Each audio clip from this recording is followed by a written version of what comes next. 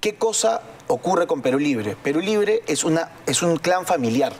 Todo se maneja desde Huancayo. Todo el Comité Ejecutivo Nacional y las decisiones se toman en el seno de la familia Cerrón Rojas. Es decir, la mamá, los hermanos, todos primos están involucrados en, esa situación.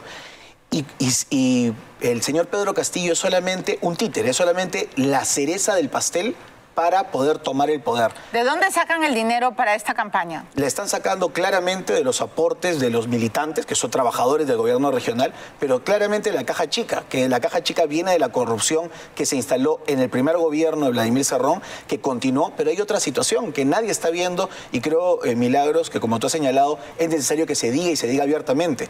Antes de que venga el señor Pedro Castillo, ¿quién era la pieza de, de el as bajo la manga de, de Cerrón para la presidencia, Gregorio Santos. Gregorio Santos lideró la protesta cuando metieron preso a Vladimir Cerrón por corrupción. Correcto.